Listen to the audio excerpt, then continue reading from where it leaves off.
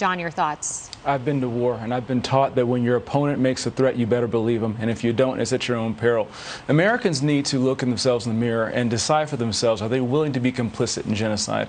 Are they willing to be complicit in watching the West mm. fall? Because make no mistake, Russia didn't invade Ukraine just on its own. Russia invaded the West. Russia made a direct attack and aggression on our way of life, on freedom, democracy, and opportunity, and we're allowing it to happen. America is showing the world, America is showing Russia, America is showing China that we're going to stand back and we're going to allow this to happen instead of creating a no fly zone, instead of destroying that 40 mile convoy that is going to get on the ground and terrorize the Ukrainian people, instead of moving strategic assets to support Eastern Europe and keeping our promises.